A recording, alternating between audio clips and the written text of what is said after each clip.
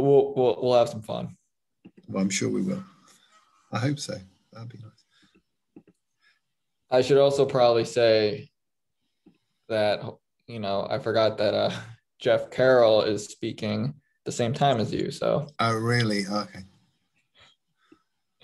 So we'll see what ends up happening in this sense. I was speaking with uh, someone else who, who was doing uh, a caregiving session during the same time as HD Buzz, and I was like, mm-hmm. "Listen, people will come, they'll learn, they'll understand, but yeah, I think this is luckily this is recorded, so for those that can't make it, they can see the recording of it." Well, we've got four lovely people so far. Yeah. Yeah. Oh, here we go. Here's a few.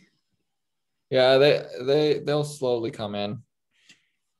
All you have to say is access to effective drugs, and they say, "What? Yep.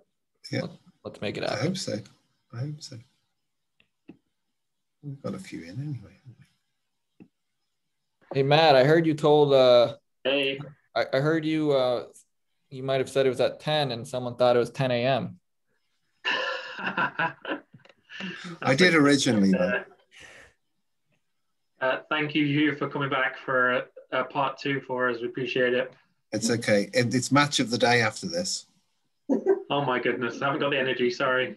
That's the uh, that's the soccer soccer highlights program, Seth. uh, Pam, someone asked, "Does our audio work?" Uh, it no, should so, work. Well, oh, well, for us, not for them. I think oh, that's I see. meant. So, if anyone has questions for this, um, all you have to do is put it in the chat feature or the Q and A, which is right below. Um, so that's that's the best way to ask ask your questions. But you know, this is going to be, from from my opinion, it's going to be very um very important. Hold on. Well, there are only four of us. Oh no, there's more than four of you. There's there's That's more. like seventeen. Yeah. Um, but yeah, no, this this will be an important uh, discussion talking about you know access to effective drugs, especially when we think about research and the where things are going to go.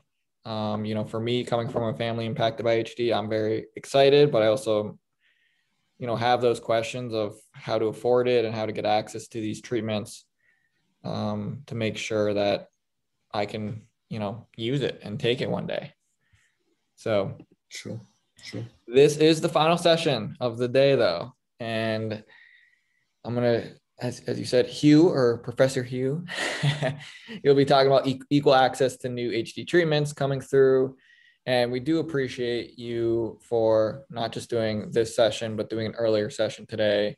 It is um, hugely appreciated. So, you know, we'll we'll share some time at the end for some Q and A, but I'm going to stop talking, just pass it on over to you to get the conversation going regarding okay. access to effective treatments.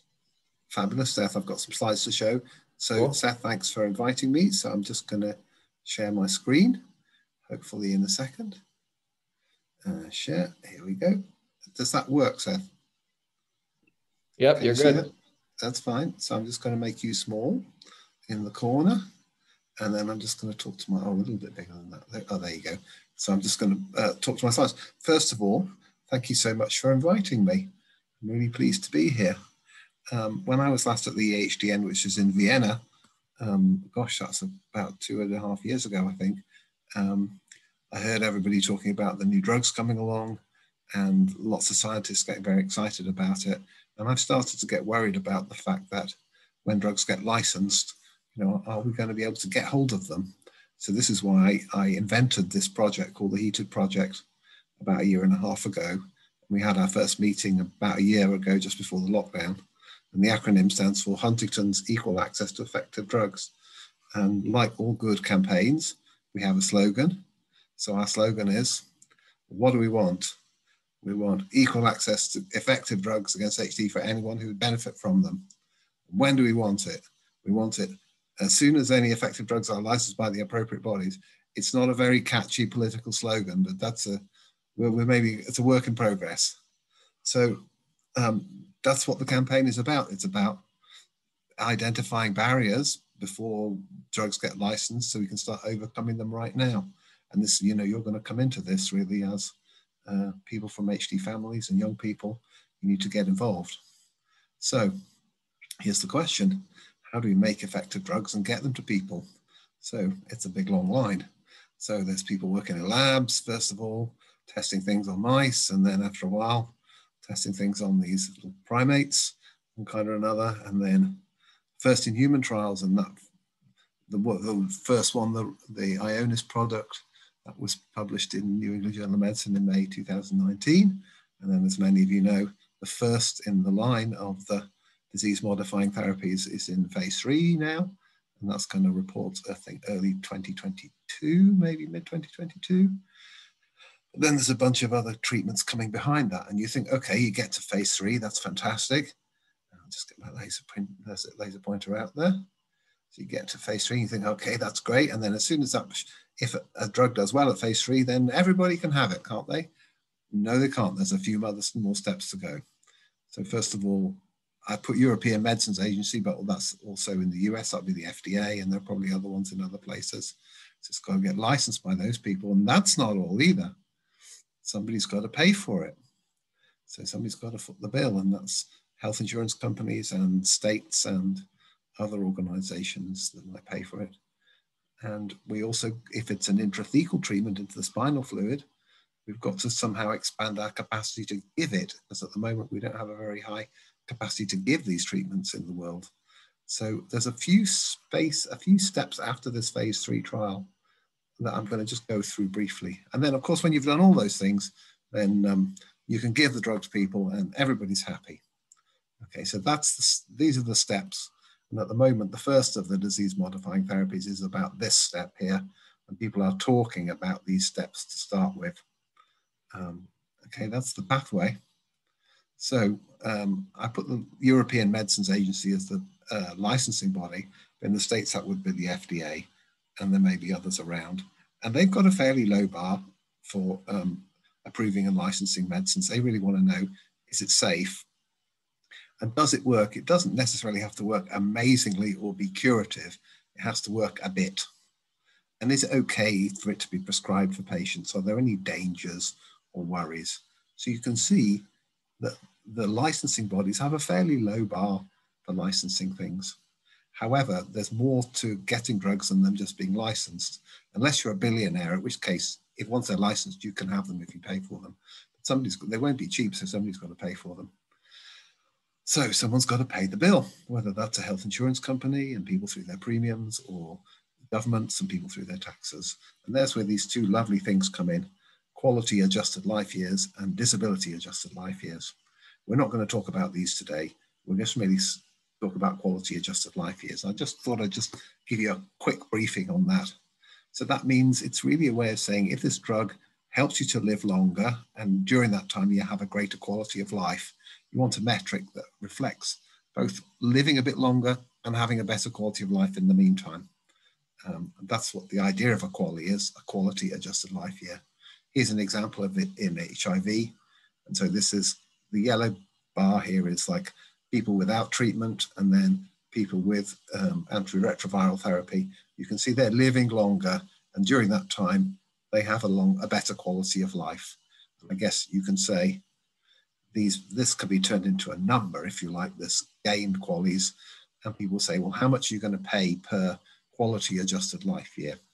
Now, at the moment in the UK, the standard rate for a quality adjusted life year is about thirty thousand pounds, um, or that's what uh, UK government would normally pay for a quality adjusted life year, uh, which actually isn't very much, uh, especially when you think about these new treatments.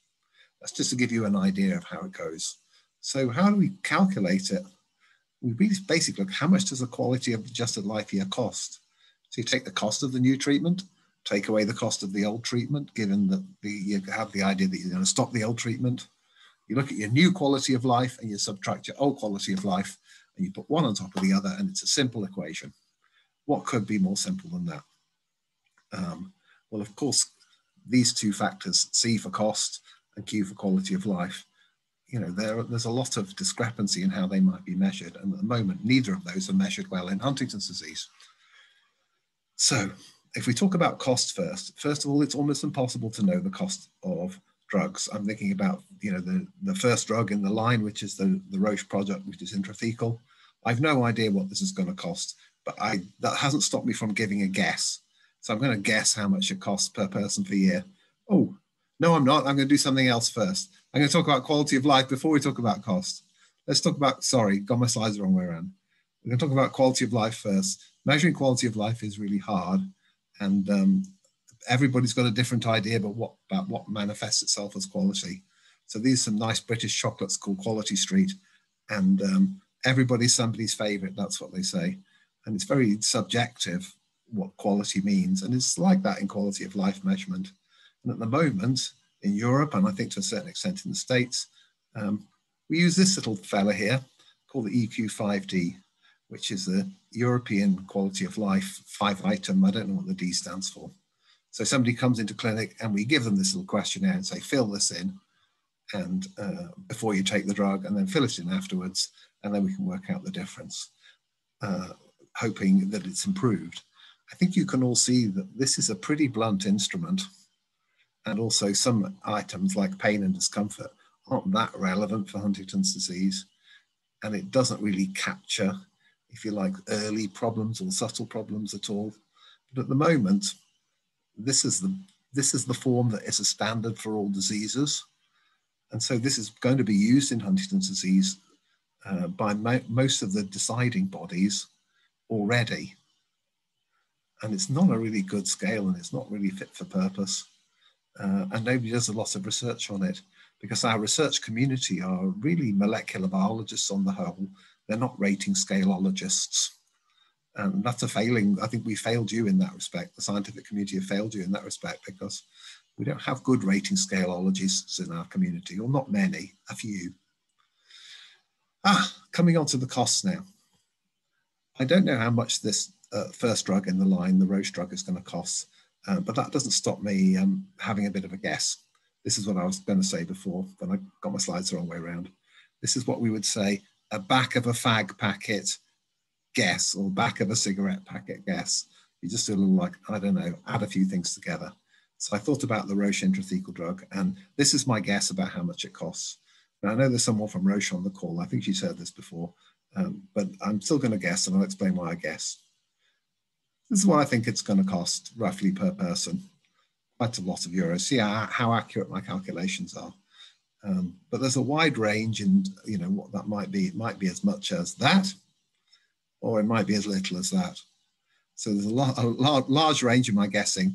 And like all good things, I've got a, a rider beneath it as well, which is basically this is a complete guess based on what's charged for other drugs like Spinraza in similar countries, and the cost of you know pipelines and research and development and shareholders and also the fact that we just don't know how well the treatment works yet so i guess if it works really really well it'll be at the higher end of this and if it works not that well it'll be at the lower end and also that uh, people like me are just not party to these sorts of discussions ever at all they're usually held behind closed doors so in the absence of that i guess people like me are going to make guesses so what does that amount of money really look like in real terms? So this is an English primary school per person. It's about that much of an English primary school budget. So, you know, not, so, or if you want to get a bit more political, this is a Tomahawk cruise missile. And it's about that much of a Tomahawk cruise missile for one person, if you assume that my pricing is about right. Uh, of course, I might have got it completely wrong, but it's a ballpark, I think. It won't be far off. Okay. But when you're thinking about costs, it's not just the cost of the drug.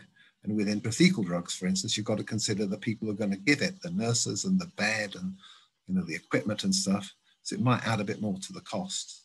But there are also costs that might be offset. For instance, if you could delay someone going into a nursing home or increase the time that they were more economically productive or less time collecting state benefits and also, as we, you'll be very familiar with what I would call opportunity costs for children. So that is, you know, if you could delay mum or dad getting ill for a few years in time that you wouldn't have to take time off school or university, to help them out, and that could be a huge cost. So I guess in health economics terms, there are quite a few things on this side of the seesaw that aren't always thought about, and I think we have to campaign a bit to get those really understood and included in uh, people's calculations, because not all bodies and paying bodies will look at this bit. They'll probably just look at this bit.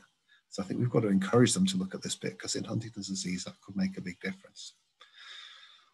So then if we're thinking about intrathecal therapy, um, which is the first in line, if you like. It might not be always the thing because there's small molecules coming along too. Um, if people just turn up at a hospital at a neurology department, how easy it is it just to get intrathecal therapy? Well, the answer is not very easy at the moment. That would have to be quite a big shift.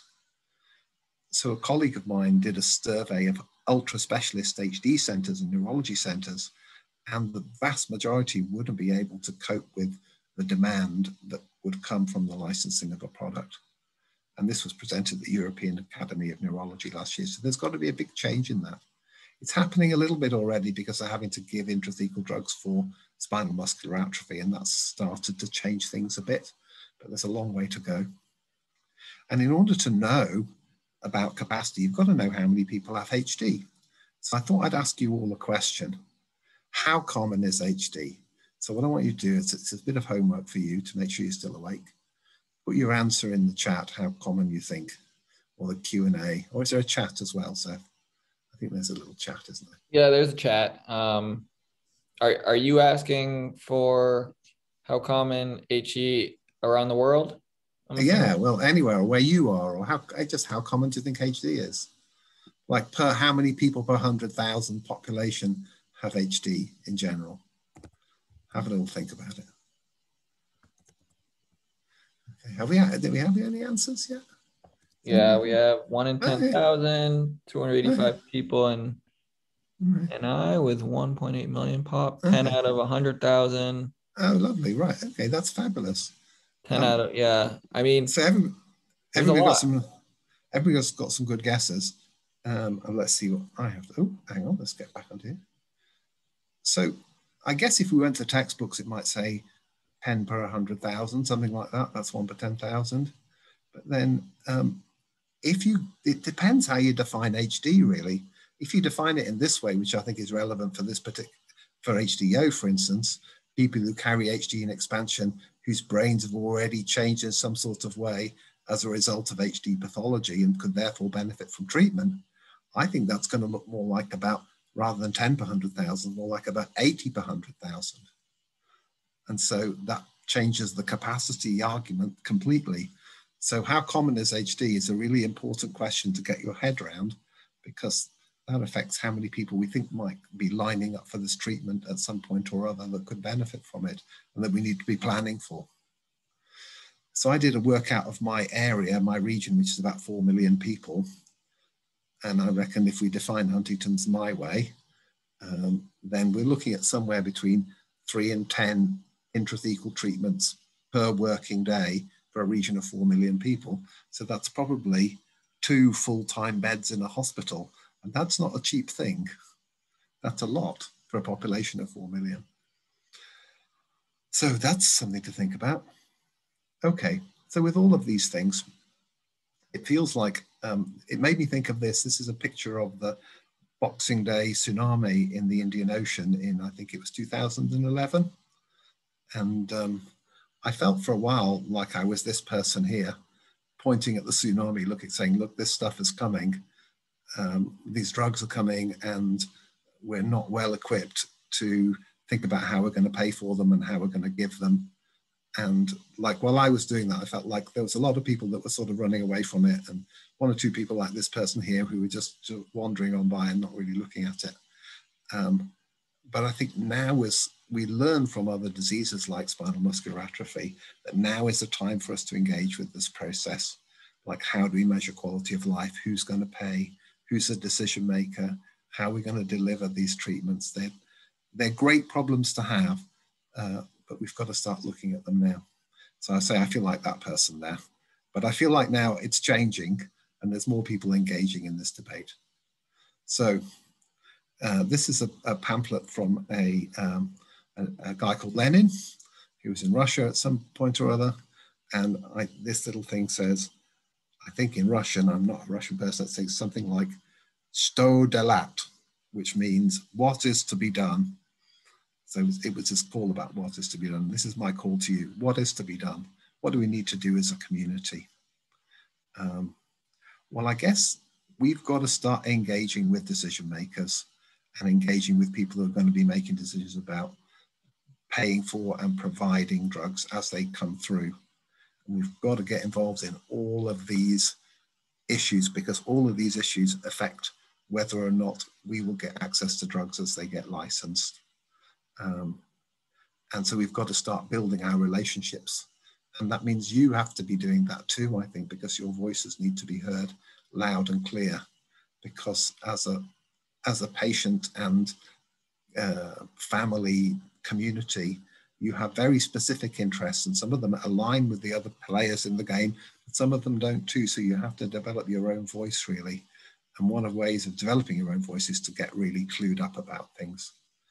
Um, so uh, this is a nice guy called Dr. Ambedkar who was involved in uh, basically decolonializing India. And this was his famous phrase that's been taken up in all sorts of different campaigns. This is what I guess we all have to do, and what you have to do as well as a young community is that you've got to educate people about what the issues are. And by agitating, I don't necessarily mean you need to be on the street demonstrating, but you need to be stirring things up a bit, making sure you're asking the right question, speaking truth to power. You've got to get yourselves organized as a group as well. Um, if you're looking for a really good playbook, I've got the best playbook, which I read on holiday a couple of years back. Um, it's called How to Survive a Plague, and it's by a journalist called David France. And it's a fantastic story about how patient groups and scientists got together and worked together um, to really make a massive difference to HIV and to work to really overcome the barriers in all sorts of areas to people getting access to HIV drugs. And largely, that's been a real success. So I'd recommend this book to anybody really, just read it through. It's not exactly a parallel, but it's a really good place to start from. And then I'm just going to stop by just having a slide from Nancy Wexler. I know that people were talking about her earlier on this evening. Um, she wrote a lovely um, editorial when the when the Ionis trial was published in New England Journal of Medicine a couple of years back, or about a year and a half back. And, and in that, she said the ultimate challenge will be to bring safe, effective, and affordable treatment, not only patients in North America and Europe, but also patients with Huntington's disease throughout the world. And she said, for those in Venezuela who donated the samples that made this promising approach possible, she's talking about antisense oligonucleotides, the treatment should be free. So I think um, we, I feel like we have to honor, honor Nancy and um, fight for those ideals. So at that point, I'm going to stop talking and I'm really happy to take questions if people want to ask them. Thank you. Well, thank you very much. Appreciate it. Um, you know, one one question that came to mind was regarding, you know, I know you you, you made an estimate for the Roche uh, drug. Yeah, I'll um, probably get in trouble for that. Yeah. Uh, well, I guess like, you know, when it comes to that's just one option, right? And there's also potential yeah. options for gene therapy. Absolutely. no, that, and that's going to probably so the price will vary depending on how often it's taken. Is that right too? Would you say? Well, I'm sure that's the case. Yeah, yeah. How often it's taken, um, and how effective it is. I mean, I guess if it's not taken very often, it's going to be really expensive, but only as a one-off. Mm-hmm. And um, when you um, say like also getting our voices heard and involved, right? Like, who is it that we need to that needs to hear us? Is it specifically these companies or and I, I'm assuming yes, but I'm also saying like who else is it? Like well, I guess uh, people and the members of like Congress who, who are play these political figures, right? I think that's I think decision makers. Who makes the decision? Who who makes a decision about um, how ther- who pays for therapies to be given in hospitals and in health systems, and in different places of the world that might be different. That might be politicians or or um, associated groups to politicians like health service groups or health insurance companies or people who are negotiating prices, um, but also, I guess, uh, uh, associations as well. So patient support associations, because they're, I guess, they're having to change a little bit now, because many patient support organisations have really been up until now largely involved either with providing care services or funding research. And actually now they probably have to alter a little bit to become more campaigning organizations or lobbying organizations that really understand this. So I guess members of those organizations have got to work with those organizations to facilitate the change in them. But I think yeah. your first job is to get to understand the issues as a group and start organizing as a group so that you understand what the issues are and who the big players are. Yeah. That might vary from place to place, but get talking yeah, it, about it. It's going to vary depending on where you live. But um, I know you mentioned it to me before, you know, we went live, but maybe for those in the audience, like what's the suggested model of like another health community? Oh, I see. Yeah. I mean, there are two or three, I think. Spinal muscular atrophy is the one, I think, who's very, as an organization, as patient support organization, they're a little bit smaller than us, but quite similar. And it's mainly really young people and children that are affected. Uh, but they have a drug that is of a rather similar family to the sorts of drugs we're trying in HD, but it got through its phase three trial much earlier and much quicker, and was shown to be moderately effective. And so they had to get onto that really quickly because the drug got licensed fairly quickly and then it turned out certain people had access to it and certain people didn't and some subgroups had access to it but not others. And so that's although it's great that they have a treatment it's caused quite a lot of sort of chaos and difficulty that some people have been able to uh, get hold of it and other people haven't.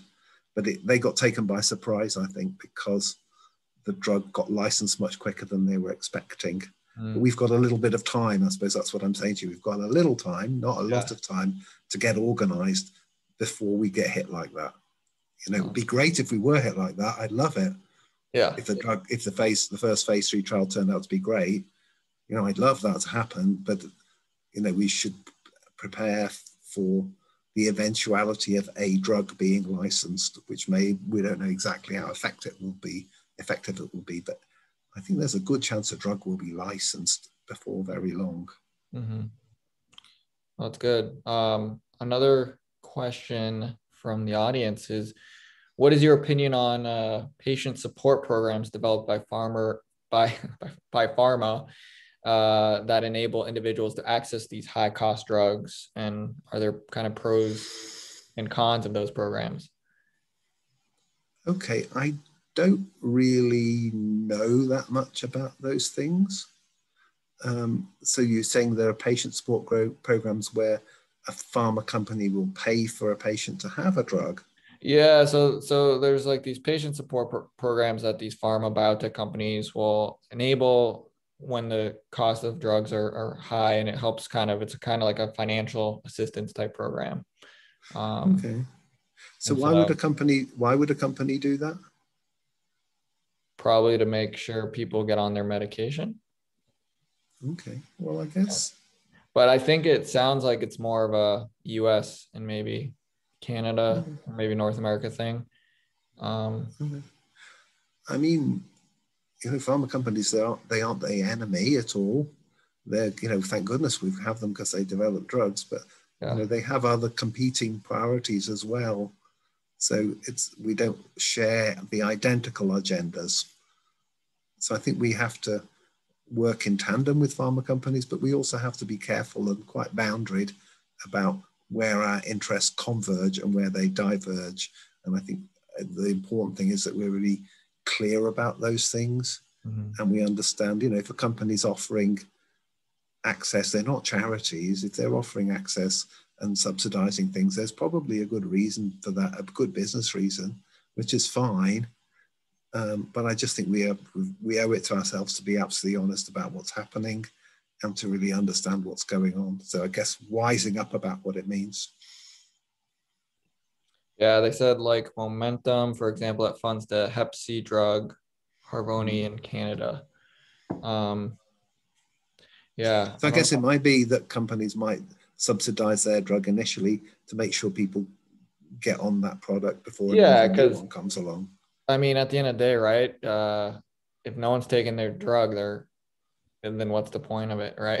like if They no one might- can afford it, if no one can afford it, then It might be, I don't know, I'm only guessing. It might be a way of yeah, getting people onto their product before another product comes along. But then I Yeah. suppose that's why you've got to be, as a community, you've got to be really wised up because that might be a great idea or it might be a terrible idea. hmm So you've Yeah. got to you've got to know what you're doing. If somebody's offering you a free treatment, then of course it would be tempting to take it, but you've got to know what you're getting into. yeah, like long term. Like, is it Yeah, always yeah. going? Because that's actually a good point, right? Is it always going to be this set cost, or is this only a temporary thing? It's kind of like uh, I feel like with a car, right? Or or, or when you're Yeah. renting when you're renting uh, a, a place to live versus It's buying. like my mobile phone contract. They say you can have Yeah. it for 10, 10 pounds a month for the first six months, and then it goes back and then it up. goes up. Yep, it's like the sale. I don't yeah. know. I mean, I guess there's. I mean, because these people. I don't. This is not a criticism, but these companies are companies. They exist to be companies and to make profit, and thank God for them. Mhm. But that means that there are undoubtedly going to be conflicts of interest. Of course, no, that definitely makes sense. But We just got to under. That's my message to the community: is really understand that, get to grips with it, mhm. understand what it's about, and engage in it in a honest and forthright way. Yeah. Um, last thing, and then I want to be mindful, like, is heated a global project? Well, I mean, the first thing to say is heated is more of an idea than anything else. It's an idea and a set of discussions. We don't have a big heated office. Uh, we don't have any staff. It's basically me in my grown up daughter's bedroom as an office in the pandemic. This is heated. So I'd, I'd hate people to go away and think heated is some sort of massive global thing. It's more like an idea.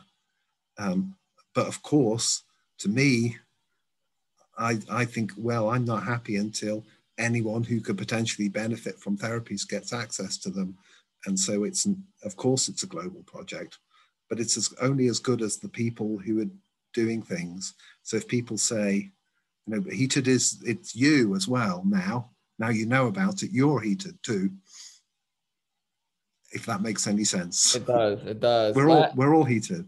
yeah. If anyone wants to get a hold of you to learn more though about this, is there? Uh, they can uh, just email me. It's no email- problem. I'm, I have a very easy email to find. What's your email? It's my first name dot my second name at nhs.net. Okay. Awesome. Really easy. And you can find it on Google, I'm told, pretty easily. Sounds So- good. so I Um, just I say it's only as heated as an idea. It's just about the youth. It's about the community getting together and having your own ideas. You don't need any sort of sanction from me or any permission from anyone. Just get together yourselves and start wising up. mhm.